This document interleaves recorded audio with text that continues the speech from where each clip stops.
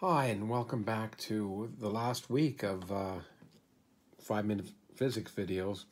And today I want to continue talking about black holes to get ready to talk tomorrow about some of the biggest outstanding mysteries, but I want to develop them a little bit more before we get there. Um, so, uh, today's more on black holes, and I just want to remind you what we discovered yesterday, which is if I um, have a black hole of mass m and um, I, I, consider how much mass I can dump into a region of radius r, uh, it becomes a black hole when m over r is c squared over 2g. Classically, this is in Newtonian language, but for a large black hole, some of this works out for, for uh, it extends even to, to regular black holes in the full general relativistic limit. But the bottom line is, classically, if I dump a, ma a mass m into a radius r, the escape velocity at the surface becomes the speed of light when m over r is c squared over 2g. And as I showed you, if you have a uniform mass in this region, that means the density gets very, very small. It goes down as 1 over r squared. And so for a very large black hole, the density is very small, and that's what was so surprising that I introduced yesterday. Now, I just want to point out, this radius r is the radius inside of which this, the escape velocity will be faster than light. And um, we call that the event horizon of a black hole. It doesn't have to be a physical place. It's just inside of that region. If there's that much mass inside that region, the minute you get in there, you can't escape uh, uh if, because you have to travel faster than light to escape. Now, the density goes to, to zero as the black hole gets very large. And as I said, for very large black holes, that means it doesn't feel very strange when you go inside the event horizon because the density isn't very large. And I want to extend that argument a little bit to say, ask, what's the acceleration you'd feel uh, just if, as you're falling inside the event horizon? If you're right there, what's the acceleration you'd feel? And you could get that, of course, because, well, uh, just by using F equals ma, Newton's famous law, and equating that classically to, to the um, Newtonian force. And of course, this means that the acceleration of an object is gm over r squared. The, and I'll make a big R now because I'm gonna I like using big R's. Um, okay. Now that's the acceleration you'd experience at the tip of mass m uh, if if there was mass m inside of radius r, gm over r squared. Now this, however, can be written as g times m over r times 1 over r. Now we know what m over r is. m over r is c squared over 2g. So this is um, c squared over 2. Yeah, canceling the g's. And then times 1 over r. But 1 over r, from this I can write r is equal to 2gm over c squared for a black hole, or for an object mass m where the escape velocity is greater than the speed of light. So let me plug that in. This becomes c squared over 2 times 1 over r, which brings another c squared up here over 2gm. And this therefore becomes c to the fourth over 4gm. That's the acceleration that you'd feel at the event horizon of a black hole of mass m.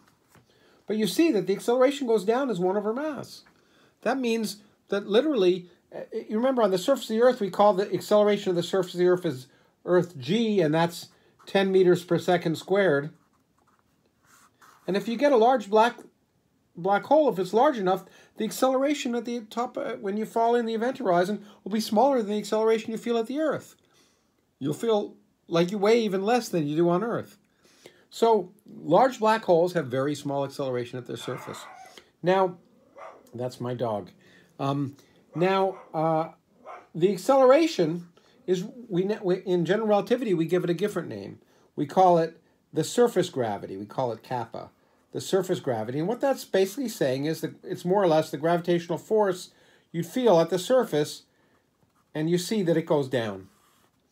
That So, um, once again, that is consistent with this fact here, that uh, if you go through the event horizon of a black hole, you may not feel even a large tidal force. You may not feel anything. All that would happen is if you tried to turn on your rocket engines and get out, you'd never be able to do it. You'd never quite be able to escape. Okay. But that doesn't mean black holes aren't exotic, a large black hole or any kind of black hole. And the reason you can think of that is let's do another calculation and just say, okay, I've got the black hole radius r, mass m. What's the potential energy at the surface there? Well, remember the potential energy classically in Newtonian mechanics is minus g m um, times little m, the mass of an object, over r. The mass of the big object, the mass of the little object r.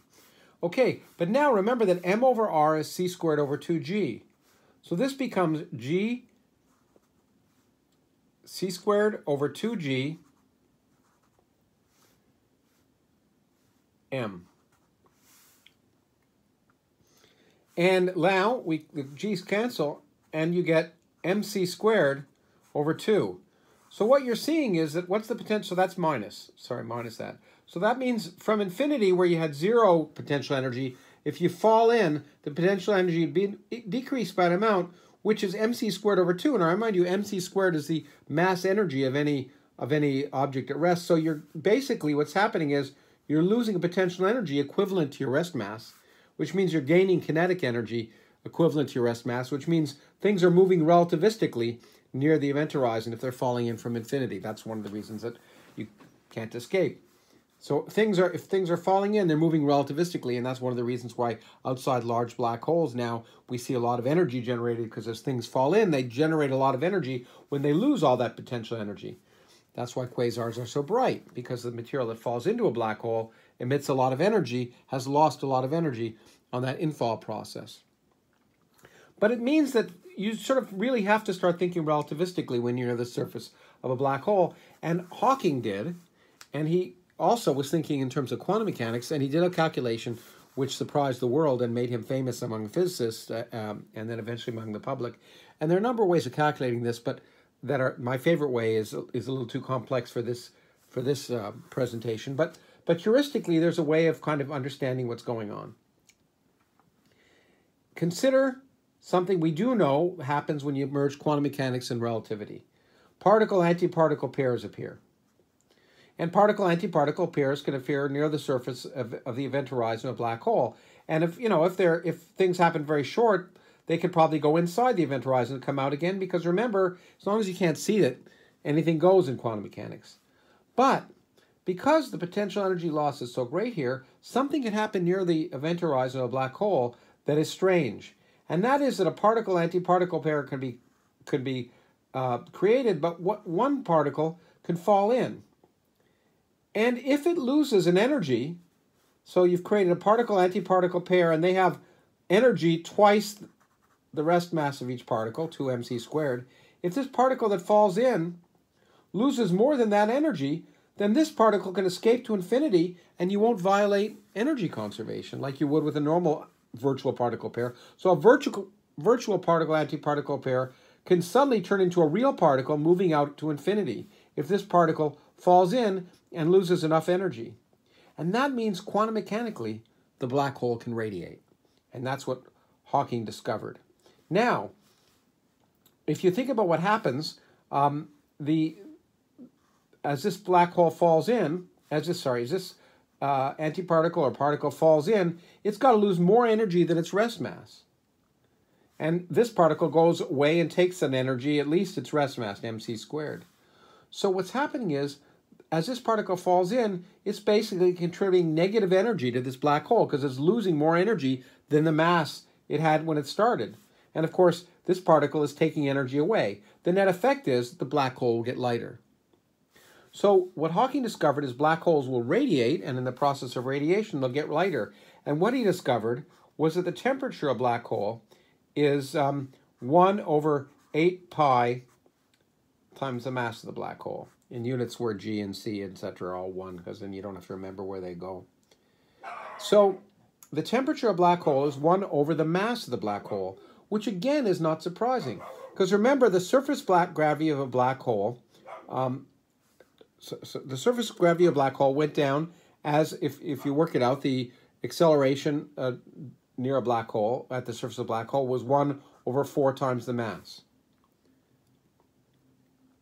So the acceleration went down as the mass, um, and uh, and that surface gravity goes down as the mass. And if you somehow think that particle, antiparticle, or particle creation at the event horizon of a black hole is related to the surface gravity, it's not surprising that it, it, it, goes down. There's one other thing that's perhaps not surprising.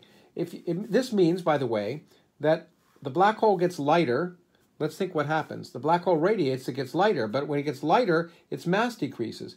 As its mass decreases, its temperature goes up, but that means it radiates more, and that means it gets lighter still, and there's a runaway process, and the black hole will evaporate if nothing else gets in the way. And what Hawking discovered, not only do black holes radiate, but they eventually will have a finite lifetime. And what's really weird is the following, which is also heuristic. If I had a small black hole, then, you know, you'd imagine only small uh, particle-antiparticle pairs would somehow be, be relevant. And in, in uh, special relativity and quantum mechanics, small distances conforms to large energies. So for small black holes, you'd expect only that, that the particle-antiparticle pairs would have more energy, and the particles you'd radiate would have more energy. That's consistent. A, a, a smaller mass black hole, smaller size, has a higher temperature. But the fact that it radiates is one thing, but the fact that is really remarkable is this is thermal radiation. The radiation is exactly thermal. So what we learned is that black holes are not too strange in the sense that the acceleration at their surface uh, goes down as as uh, as their mass increases. And by the way, as their mass increases, since m over r is a constant, it's c squared over 2g. If you if you again set c squared and g to 1, you get that the radius goes like twice the mass. And you can always convert um, uh, um, surface gravity and acceleration with mass and radius this way. So the mass of a black hole increases linearly with its radius, and and um, it it radiates thermally, which is strange, and it'll evaporate, which is strange, and the temperature it evaporate it, it has at any at any mass is inversely proportional to the mass. So you might say, okay, well, how, can we have seen black holes? And the answer is, well, what's the temperature of a black hole that has the um, mass of the sun? It's about 6 times 10 to the minus 8th degrees Kelvin times the mass of the sun over the mass of the black hole. That means a, ma- a black hole of mass of the sun is radiating at 6 times 10 to the 8th degrees Kelvin. And degrees Kelvin is the number of degrees Celsius above absolute zero. So this means a, a black hole of mass of the sun is radiating with a temperature of uh, 100 millionth of a degree above absolute zero. So small you'd never see it. And that's one of the reasons why we haven't seen Hawking radiation, because astrophysical black holes are big and they're radiating at such a low temperature you'd never see them, and the time it would take for them to lose enough mass to radiate at a hot temperature is a long time. Plus, by the time they got to be that mass, they'd be very small, and you might not see it anyway. That's one of the reasons we haven't yet seen Hawking radiation. But the fact that we haven't seen it, nevertheless, doesn't stop us from thinking, well, at least if you apply quantum mechanics and relativity, black holes should radiate, and it turns out they do it thermally, and that produces a lot of puzzles and paradoxes, and that's what I want to talk about tomorrow. Have, um, and uh, I think I've set up all the framework to be able to talk about the, the mysteries of black hole evaporation tomorrow. So take care. Bye-bye.